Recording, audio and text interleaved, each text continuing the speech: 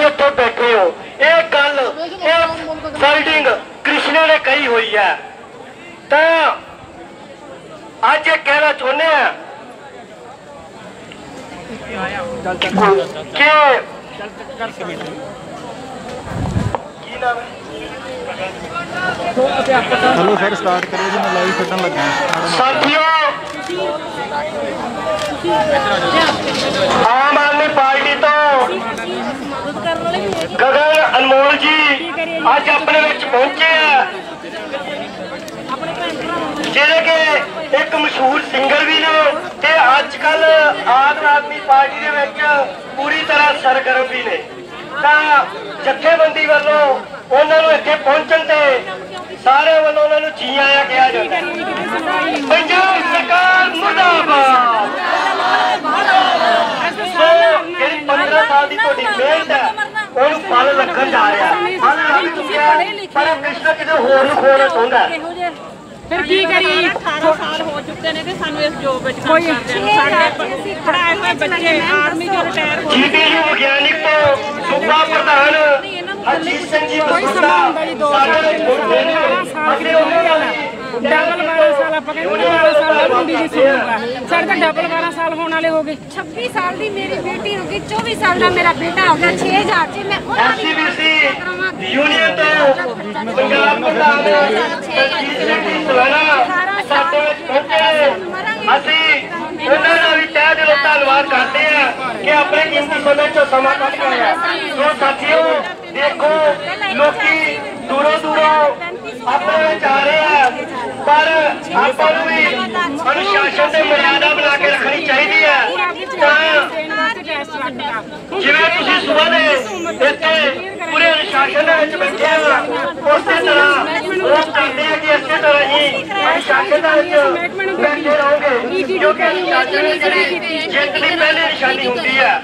ਜੇ ਅੱਜ ਉਹ ਸਾਥੀ ਸੱਤ ਪਹਿਲੀ ਵਾਰ ਟਾਵਰ ਤੇ ਚੜੇ ਆ, ਤਾਂ ਇਹਨਾਂ ਨੂੰ ਆਪਣੇ ਬੱਚਿਆਂ ਬਾਰੇ ਵੀ ਵੀ ਆਪਣੀ ਇੱਕ ਜਿੱਤ ਹੈ ਕਿਉਂਕਿ ਅੱਜ ਤੱਕ ਕੋਈ ਵੀ ਜਥੇਬੰਦੀ ਉੱਥੋਂ ਤੱਕ ਨਹੀਂ ਪਹੁੰਚੀ 2009 ਦੇ ਵਿੱਚ ਗੱਡੀ ਗੋਲਡ ਕੀ ਦੇ ਉੱਤੇ ਸਭ ਤੋਂ ਪਹਿਲੀ ਜਿਹੜੀ ਜਥੇਬੰਦੀ ਪਹੁੰਚੀ ਸੀ ਉਹ ਧਿਆਨ ਦੇ ਵਿੱਚ ਦਰਜ ਹੈ ਤੇ ਉਹਦਾ ਨਾਮ ਈਜੀਐਸ ਯੂਨੀਅਨ ਸੀਗੀ ਈਜੀਐਸ ਪਹੁੰਚੀ ਸੀ ਸਭ ਤੋਂ ਪਹਿਲਾਂ।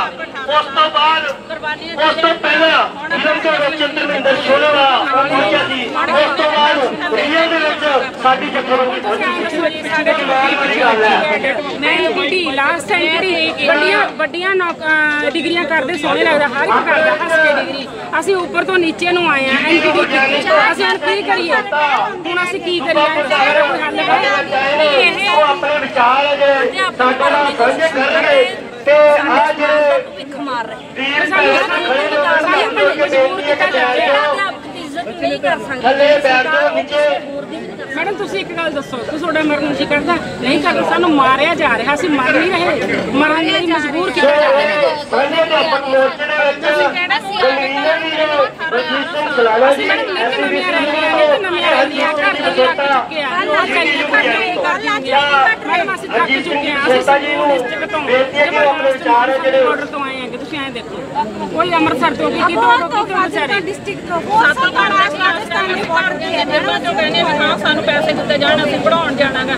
ਸਾਡੇ 6000 ਰੁਪਏ 6000 ਸਾਡੇ ਸਾਡੇ ਸਾਡੇ ਕਿੰਨੀ ਦੂਰ ਨੇ?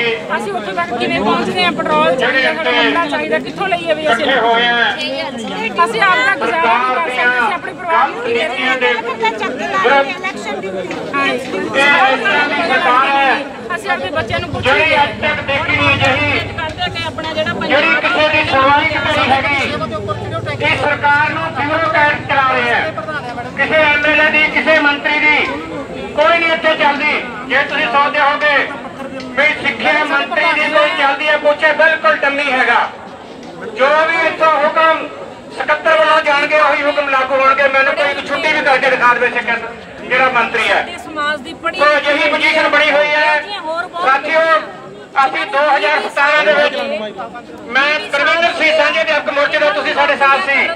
ਅਸੀਂ ਲਗਾਤਾਰ ਸੰਘਰਸ਼ ਕਰ ਰਹੇ ਹਾਂ ਤੁਹਾਡੇ ਹੱਕ ਦੇ ਵਿੱਚ। 6000 ਰੁਪਏ ਪੱਕੇ ਕਾਨੂੰਨ ਦੇ ਵਿੱਚ ਮੈਨੂੰ ਦਿੱਤੇ ਹੋਏ ਕਰਦਾ ਸੀ। ਇਹਨਾਂ ਨੇ ਗੁਰਦਾਸਪੁਰ ਭੇਜੇ ਸੀ। ਮਾਰਨ ਦੀ ਕੋਸ਼ਿਸ਼ ਕੀਤੀ ਜਾ ਰਹੀ ਹੈ ਸਰਕਾਰ ਵੱਲੋਂ ਕਰਦੇ ਮਾਰਨ ਤੇ? ਰਾਜਵੀਰ ਕੌਰ ਨੇ ਸਾਨੂੰ ਖਾਦੀ ਆ। ਕਿਸੇ ਤਰੀਕੇ ਨਾਲ ਦੀਆਂ ਭੈਣਾਂ ਨੇ ਬਚਾ ਲਿਆ। ਮੈਂ ਤਾਂ ਮੇਰੀਆਂ ਸਾਰੀਆਂ ਭੈਣਾਂ ਨੂੰ ਕਹਿੰਦੀ ਆ ਜਿੰਨੀ ਬੇਟੀਆਂ ਸਾਡਾ ਮਰਨ ਦਾ ਟਾਈਮ ਗਿਆ। ਅਸੀਂ ਇੱਕ ਇਕਜੁੱਟ ਹੋ ਸਕਦੇ ਆ ਅਸੀਂ ਆਪ ਨਹੀਂ ਮਰਾਂਗੇ। ਅਸੀਂ ਲੜ ਕੇ ਜਿੱਦ ਕੇ ਆਪਣੇ ਹੱਕ ਲੈਣੇ ਆ। ਟਾਈਮ ਥੋੜਾ ਰਹਿ ਗਿਆ। ਇਹਨਾਂ ਇਹਨਾਂ ਨੂੰ ਇਹਨਾਂ ਨੂੰ ਸਾਡੀਆਂ ਇਹ ਜਿਹੜੀਆਂ ਸਰਕਾਰਾਂ ਨੇ ਪ੍ਰੈਜ਼ੈਂਟ ਇਹਨਾਂ ਨੂੰ ਸਾਡੇ ਅਧਿਆਪਕਾਂ ਦੀਆਂ ਸਾਡੇ ਕਿਸਾਨਾਂ ਦੀਆਂ ਮੌਤਾਂ ਨਾਲ ਕੋਈ ਮਤਲਬ ਨਹੀਂ। ਇਹਨਾਂ ਨੂੰ ਮਤਲਬ ਸਿਰਫ ਵੋਟਾਂ ਤੱਕ ਆ। ਜਦੋਂ ਇਹਨਾਂ ਨੂੰ ਵੋਟ ਵੋਟਾਂ ਤੱਕ ਜਦੋਂ ਵੋਟਾਂ ਪਈਆਂ ਸੀ ਸਾਡੇ ਇੱਥੇ ਹੀ ਧਰਨਾ ਚੱਲਦਾ ਸੀ। ਮੰਤਰੀ ਸਾਹਿਬ ਸਾਡੇ ਵਿੱਚ ਬੈਠ ਕੇ ਕਹਿ ਕੇ ਗਏ ਸੀ ਪਹਿਲੀ ਕੈਬਨਿਟ ਮੀਟਿੰਗ ਦੇ ਵਿੱਚ ਤੁਹਾਡਾ ਹੱਲ ਕੀਤਾ ਜਾਊਗਾ। ਤੁਹਾਡੇ ਜਿੰਨੀ ਤਨਖਾਹ ਤਾਂ ਸਾਡਾ ਮਾਲੀ ਵੀ ਨਹੀਂ ਲੈਂਦਾ ਹੈਗਾ। ਇਸ ਤੋਂ ਵੀ ਵੱਧ ਤੁਹਾਡਾ ਮਾਲੀ ਲੈਂਦਾ ਦੇਖੋ ਇੱਕ ਸਰਕਾਰੀ ਕੋਈ ਇਹਨਾਂ ਦਾ ਕਹਿਣਾ ਵੀ ਮਾਲੀ ਵੀ ਲੱਗਿਆ ਜੋ ਗੱਲ ਸੱਚ ਆ ਵੀ ਉਹਦੀ ਵੀ ਤਨਖਾਹ 15 20 ਹਜ਼ਾਰ ਹੁੰਦੀ ਆ।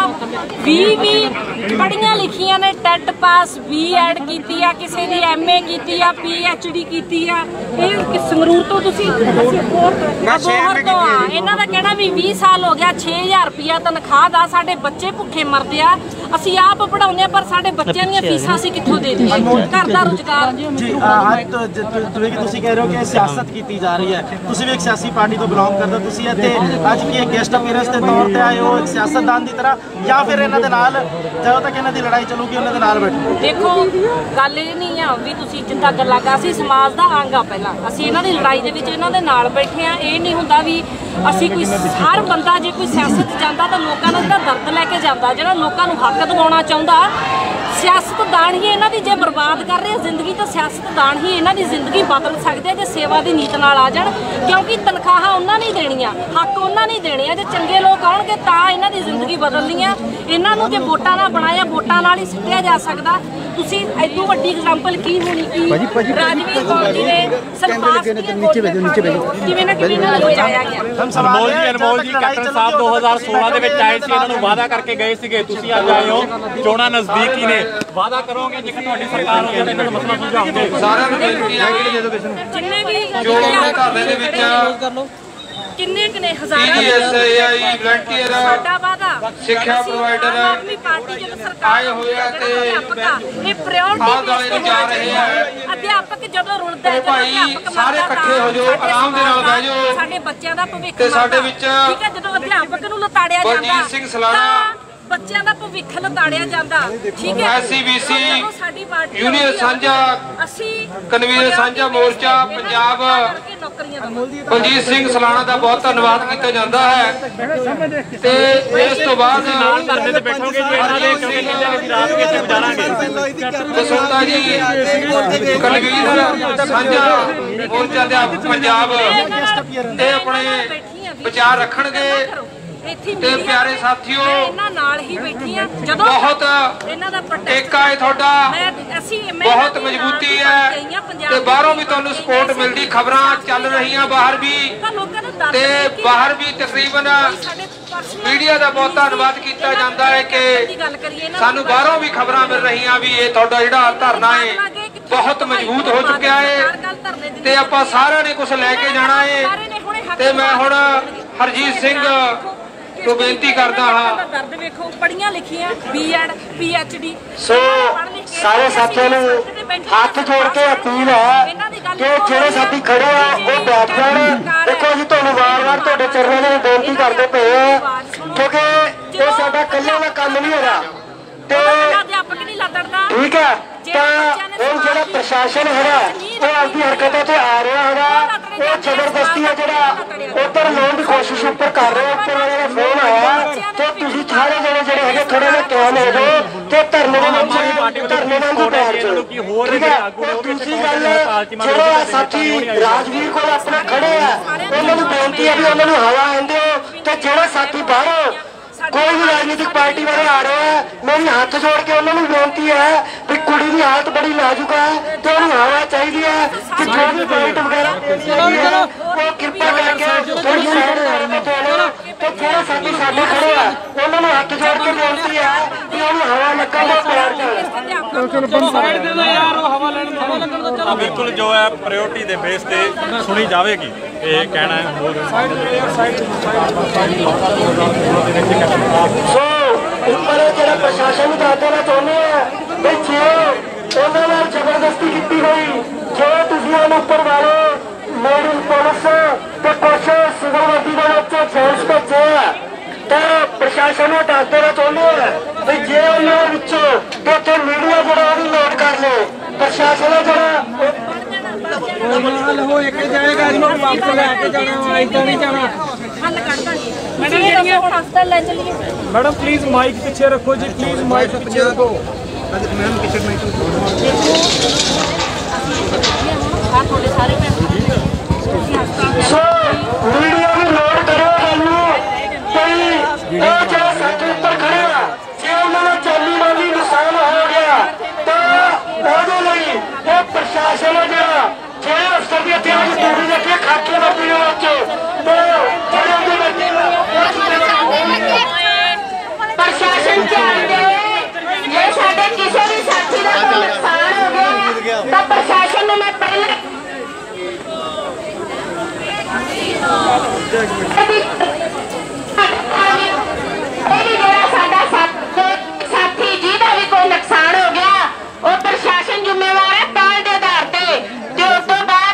ਪੰਜਾਬ ਸਰਕਾਰ ਜ਼ਿੰਮੇਵਾਰ ਹੈ ਸਿੱਖਿਆ ਮੰਤਰੀ ਸਿੱਖਿਆ ਸਕੱਤਰ ਜ਼ਿੰਮੇਵਾਰ ਹੈ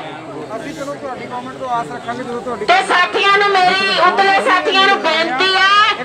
ਵੀ ਆਪਦੀਆਂ ਭਾਵਨਾਵਾਂ ਨੂੰ ਕੰਟਰੋਲ ਕਰੋ ਇਮੋਸ਼ਨਲ ਨਾ ਹੋ ਸਾਡਾ ਪੋਲੀਟੀਕਲ ਪਾਰਟੀ ਨਾਲ ਕਿਸੇ ਨਾਲ ਕੋਈ ਲਿੰਕ ਨਹੀਂ ਹੈ। ਐਜ਼ ਇਨਸਾਨੀਅਤ। ਇਹ ਆਏ ਨੇ ਪਤਾ ਲੈਣ। ਅਸੀਂ ਇਹਨਾਂ ਦਾ ਵੈਲਕਮ ਕਰਦੇ ਹਾਂ। ਇਸ ਤੋਂ ਉੱਤੇ ਦੇਖੋ ਵੋਟਾਂ ਜਿੱਤਣ ਵਾਸਤੇ। ਸਾਡੇ ਲੋਕਾਂ ਦਾ ਬੈਂਕ ਵੇਖ ਕੈਪਟਨ ਸਾਹਿਬ ਵੀ ਆਏ ਸੀ। ਕੈਪਟਨ ਸਾਹਿਬ ਵੀ ਆਏ ਸੀ। ਸਰਕਾਰ ਜਿਹੜੀ।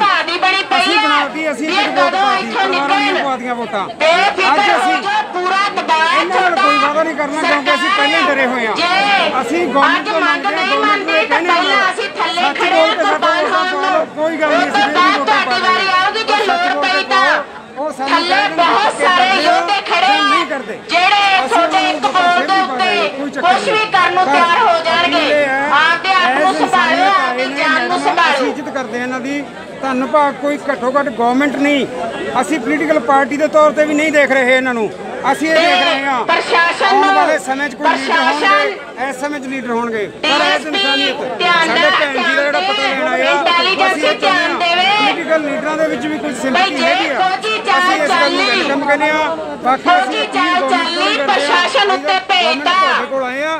ਕੋਲ ਬਠਿੰਡਾ ਪ੍ਰਸ਼ਾਸਨ ਤੋਂ ਪੁੱਛੋ ਕੀ ਹਾਲ ਹੋਇਆ ਸੀ। ਅੱਗ ਲਾ ਕੇ ਨੂੰ ਰਜਾਈ ਥੱਲੇ। ਸਿੱਟੀ ਸੀ ਨਾਲ ਲਪੇਟਾਂਗੇ ਦੋ ਦੇ ਤਿੰਨ ਤਿੰਨ ਜਣੇ ਜੇ ਉਹਨਾਂ ਨੂੰ ਕੁਰਬਾਨੀ ਹੋ ਜਾਂਦਾ ਦੇ ਹੈ, ਕੇ ਪੰਜਾਬ ਸਰਕਾਰ ਜ਼ਿੰਮੇਵਾਰ ਹੋਊਗੀ। ਅਧਿਆਪਕਾਂ ਦੀ ਨਹੀਂ ਉਹ ਉਹਦੀ ਵੀ ਅੱਕੇ ਪੱਕੇ ਹੋਏ ਵਾਲੇ ਅਸੀਂ ਨਾਲ ਹੀ ਜਾਣਗੇ।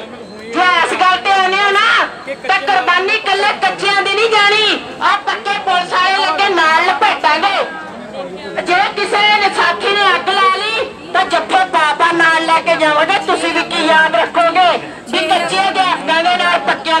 ਦੀ ਵੀ ਸ਼ਹਾਦਤ ਹੋਈ ਸੀ ਇਹ ਕਹਿ ਰਹੇ ਵੀ ਅਸੀਂ ਤੇ ਤਕੜੇ ਹੋ ਜੋ ਸਾਥੀਓ ਤੁਸੀਂ ਵੀ ਸਾਰੇ। ਸੁਣਨ ਚ ਆ ਰਿਹਾ ਪ੍ਰਸ਼ਾਸਨ ਆਪਣੀ ਘਟੀਆ ਚਾਲ ਚੱਲਣ ਦੀ ਕੋਸ਼ਿਸ਼ ਕਰ ਰਿਹਾ ਤਾਂ ਪ੍ਰਸ਼ਾਸਨ ਧਿਆਨ ਦੇਵੇ ਮੋਹਾਲੀ ਦਾ ਵੱਡੀ ਗੱਲ ਹੈ 18 ਸਾਲ ਹੋ ਗਏ ਸਾਨੂੰ 18 ਸਾਲਾਂ ਦੇ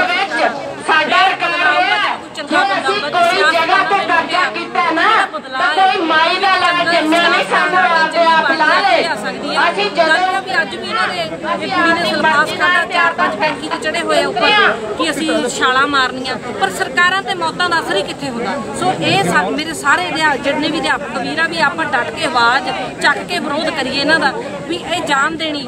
ਤੇ ਹਸਪਤਾਲ ਜਾਣ ਨੂੰ ਵੀ ਰੈਡੀ ਨਹੀਂ ਕਿਉਂਕਿ ਮੇਰੇ ਖਿਆਲ ਦੇ ਵਿੱਚੋਂ ਕੱਢਤੀ ਸੀ ਜਿਹੜੀ ਸਲਫਾਸ ਖਾਦੀ ਸੀ। ਪਰ ਫਿਰ ਵੀ ਕਿੰਨਾ ਟੈਨਸ਼ਨ ਵਾਲੀ ਗੱਲ ਤੇ ਹੁੰਦੀ ਹੈ ਨਾ ਸਲਫਾਸ ਖਾਦੀ ਹੋਵੇ ਤੇ ਬੰਦਾ ਪਿਆ ਹੋਵੇ। ਅਸੀਂ ਕਦੇ ਵੀ ਕਿਸੇ ਪ੍ਰਸ਼ਾਸਨ ਦੇ ਦਬਾਅ ਥੱਲੇ ਆ ਕੇ ਜਾਂ ਪ੍ਰਸ਼ਾਸਨ ਇਹ ਸਮਝ ਲਵੇ ਜਿਸ ਤਰੀਕੇ ਨਾਲ ਮੈਂ ਤਾਂ ਜਦੋਂ ਬੜਾ ਇਹਨਾਂ ਨੂੰ ਰਸੇ ਪਾ ਕੇ ਉੱਤੇ ਚੜ ਕੇ ਬੱਚਿਆਂ ਤੇ ਲਾ ਲਿਆਏ ਇਹ ਦੂਰ ਦੇ ਕਰ ਸਮੈਲ ਆਪਦਾ। ਕੱਲ ਉੱਤੇ ਲਾਠੀ ਜਦੋਂ ਚੱਲਦੀ ਹੈ ਅਧਿਆਪਕ ਜਿਹਨੂੰ ਹੁਣ ਟੀਚਰ ਕਿਹਾ ਜਾਂਦਾ। ਕਿਸੇ ਦਾ ਦਰਜਾ ਜਾਂਦਾ। ਪਹਿਲਾਂ ਅਸੀਂ ਗੁਰੂ ਜੀ ਕਹਿ ਜਾਂਦਾ ਕਿਸੇ ਵੀ ਤੁਹਾਡੇ ਵੱਲੋਂ ਅੱਜ ਪੰਜਾਬ ਕੀ ਵਾਅਦਾ ਕੀਤਾ ਜਾ ਰਿਹਾ ਇਹਨਾਂ ਅਧਿਆਪਕਾਂ ਦੇ ਨਾਲ? ਕਿਉਂਕਿ ਵਾਅਦੇ ਪਹਿਲਾਂ ਵੀ ਇਹਨਾਂ ਦੇ ਬਹੁਤ ਹੋ ਚੁੱਕੇ ਆ। ਦੇਖੋ ਸਾਡੀ ਪਾਰਟੀ ਦੀ। ਸਰਕਾਰ ਆਉਂਦੀ ਆ ਤਾਂ ਪ੍ਰਾਇੋਰਟੀ ਬੇਸਿਸ ਉੱਤੇ ਸਾਡੇ ਅਧਿਆਪਕਾਂ ਨੂੰ ਨੌਕਰੀਆਂ ਦਿੱਤੀਆਂ ਜਾਣਗੀਆਂ ਬਣਦਾ ਕਿੱਡੀ ਵੱਡੀ ਗੱਲ ਕਿੱਡੀ ਗੱਲ ਹੈ ਅਧਿਆਪਕਾਂ ਨੂੰ ਕਿੰਨੇ ਕਿੰਨੇ ਲੱਖਾਂ ਦੀ ਗਿਣਤੀ ਚ ਤੱਕ ਚ ਨਹੀਂ ਆਉਣੇ ਇੱਥੇ ਹਜ਼ਾਰਾਂ ਅਧਿਆਪਕ ਬੈਠੇ ਸੀ। ਤੇ ਘਰ ਘਰ ਨੌਕਰੀ ਦਾ ਵਾਅਦਾ ਕਰਕੇ ਕਿ ਇਹ ਇਕੱਲੇ ਅਧਿਆ- ਜਿਹੜਾ ਅਧਿਆਪਕ ਦੀ ਇੱਜ਼ਤ ਨਹੀਂ ਕਰ ਸਕਦਾ ਉਹ ਹੋਰ ਵਰਗ ਦੀ ਇੱਜ਼ਤ ਵੀ ਨਹੀਂ ਕਰ ਜਦੋਂ ਜਦੋਂ ਸਰਕਾਰ 'ਚ ਹੁੰਦੇ ਆ ਜੀ ਉਦੋਂ ਗੱਲਾਂ ਹੋਰ ਹੁੰਦੀਆਂ ਜਦੋਂ ਸਰਕਾਰ ਤੋਂ ਬਾਹਰ ਹੁੰਦੇ ਉਦੋਂ ਗੱਲਾਂ ਹੋਰ ਹੁੰਦੀਆਂ। ਬਾਅਦ 'ਚ ਵੀਡੀਓ ਵੀ ਬਹੁਤ ਵਾਇਰਲ ਹੁੰਦੀ ਹੈ ਤੁਹਾਨੂੰ ਵੀ ਪਤਾ ਇਸ ਗੱਲ ਦਾ। ਇਹੀ ਉਹ ਅਧਿਆਪਕ ਨੇ ਜਿਨ੍ਹਾਂ ਨਾਲ 2016 ਦੇ ਵਿੱਚ ਕੈਪਟਨ ਅਮਰਿੰਦਰ ਨੇ ਵੀ ਵਾਅਦਾ ਕੀਤਾ ਸੀ ਕਹਿੰਦੇ ਸੀ ਕਿ 6000 ਰੁਪਏ ਤਾਂ ਮੇਰਾ ਮਹੀਨੇ ਦਾ ਖਰਚਾ ਆ ਜਾਂਦਾ ਹੈਗਾ ਤੇ ਤੁਹਾਨੂੰ ਵੀ 6000 ਦੇ ਵਿੱਚ ਰੱਖੀ ਬੈਠੇ ਮੈਂ ਪੱਕਾ ਕਰੂੰਗਾ। ਦੇਖੋ ਗੱਲ ਗੱਲ ਇਹ ਹੈ ਕਿ ਜਿਹੜੀ ਸਾਡੀ ਤੁਸੀਂ ਸਾਡੀ ਗਵਰਨਮੈਂਟ ਦਿੱਲੀ ਚਾਹੀਏ ਸਾਡੀ ਗਵਰਨਮੈਂਟ ਪੰਜਾਬ ਚ ਆਈ ਨਹੀਂ ਹੈ ਆਮ ਆਦਮੀ ਪਾਰਟੀ ਨੂੰ ਇਸ ਵਾਰ ਮੌਕਾ ਦੇਣਾ ਤਾਂ ਹੀ ਇਹ ਇਹਨਾਂ ਦੀ ਇੱਜ਼ਤ ਹੋਣੀ ਹੈ। ਸਾਡੀ ਦਿੱਲੀ ਵਿੱਚ ਸਕੂਲਾਂ ਦਾ ਹਾਲ ਵੇਖ ਲਓ। ਅਧਿਆਪਕਾਂ ਦਾ ਦਰਜਾ ਵੇਖ ਲਓ। ਅਮਰੀਕਾ ਦੇ ਪ੍ਰੈਜ਼ੀਡੈਂਟ ਦੀ ਵਾਈਫ ਦਿੱਲੀ ਦੇ ਸਕੂਲ ਵੇਖਣ ਆ ਰਹੀ ਆ। ਸਕੂਲਾਂ ਦੇ ਹਾਲਾਤ ਵੇਖ ਲਓ ਤੁਸੀਂ ਕੀ ਹਾਲ ਆ ਜਿਨ੍ਹਾਂ ਨੂੰ ਸਭ- ਇਹ ਜਿਹੜੇ ਮੋਦੀ ਇਹਨਾਂ ਨੂੰ ਬੈਸਟ ਸਕੂਲਾਂ ਦਾ ਦਰਜਾ ਦਿੰਦਾ ਪਿਆ ਨੰਬਰ 1 ਉੱਤੇ ਮਜ਼ਾਕ ਕੀਤਾ ਪੰਜਾਬ ਦੇ ਲੋਕਾਂ ਨਾਲ। ਉਹਨਾਂ ਨੂੰ ਮੋਦੀ ਸਾਹਿਬ ਨੂੰ ਇਹ ਸੜਕਾਂ ਉੱਤੇ ਪਏ ਅਧਿਆਪਕ ਦਿਖਾਓ ਨੰਬਰ 1 ਸਕੂਲਾਂ ਦੇ ਹਾਲ ਦਿਖਾਓ ਇਹਨਾਂ ਦੇ ਗਾਰੇ ਬਣੇ ਹੋਏ ਨੇ। ਬੱਚੇ ਨਿਕਲ ਕੇ ਡਿੱਗਦੇ ਇਹਨਾਂ ਦੇ ਸਕੂਲਾਂ ਦੇ ਵਿੱਚ। ਸੋ ਇਸ ਤਰੀਕੇ ਜਿਹੜਾ ਜਾਵੇ ਉਸ ਸਮਾਜ ਦਾ ਕੁਛ ਨਹੀਂ ਕਰ ਸਕਦਾ ਆਮ ਆਦਮੀ ਪਾਰਟੀ ਇਹਨਾਂ ਦੇ ਧਰਨੇ ਦੇ ਨਾਲ ਬੈਠੇਗੀ ਇਹਨਾਂ ਦੇ ਨਾਲ ਆਏਗੀ ਤੇ ਅੱਗ ਲਾਉਣ ਦਾ ਬੜਾ ਸ਼ੌਕ ਹੈ ਮੈਂ ਆਮ ਆਦਮੀ ਪਾਰਟੀ ਦਾ ਜਿਹਦੇ ਤੁਹਾਡੇ ਅੱਜ ਅੱਗ ਨਾ ਲੱਗ ਜਾਏ। ਤੇ ਮੈਂ ਤੁਹਾਨੂੰ ਫਿਰ ਚੇਤਾਵਨੀ ਦਿੰਦਾ। ਕਈ ਜਿਹੜੇ ਬੱਚੇ ਨੇ ਜਿਹੜੀਆਂ ਧਾਰਾਵਾਂ ਤੁਸੀਂ ਹੋਣੀਆਂ ਅੱਗੋਂ ਦੇ ਬ੍ਰਿਸ਼ ਖਿਲਾ ਦਿਓ। ਪਰ ਅਸੀਂ ਸਾਥੀ ਦਾ ਅਭਿਆਸ ਕਰਦੇ ਹੋ ਅੱਜ ਇਹਨਾਂ ਦੇ ਤੋਂ ਕੀ ਹੈ ਇਸ ਕਰਕੇ ਤੁਹਾਨੂੰ ਅਨਮੋਲ ਗਗਨ ਮਾਨ ਦੇ ਨਾਲ ਗੱਲਬਾਤ ਕਰ ਰਹੇ ਸੀ ਜਿਨ੍ਹਾਂ ਨੇ ਇਹ ਦਾਅਵਾ ਕੀਤਾ। ਇਹ ਕਹਿੰਦੇ ਆ ਕਿ ਜੇ ਕੋਈ ਪੁਲਿਸ ਵਾਲਾ ਆ ਜਾਏ ਤਾਂ ਉਹਨੂੰ ਅੱਗ ਲਾ ਦਿਓ ਦੇਖੀ ਜਾਊਗੀ। ਅਸੀਂ ਜੇਲ੍ਹਾਂ ਵਿੱਚ ਸੜ ਲਾਂਗੇ ਕੋਈ ਗੱਲ ਨਹੀਂ ਹੈਗੀ ਆ। ਤਾਂ ਸੋਚ ਸਮਝ ਕੇ ਕਰੋ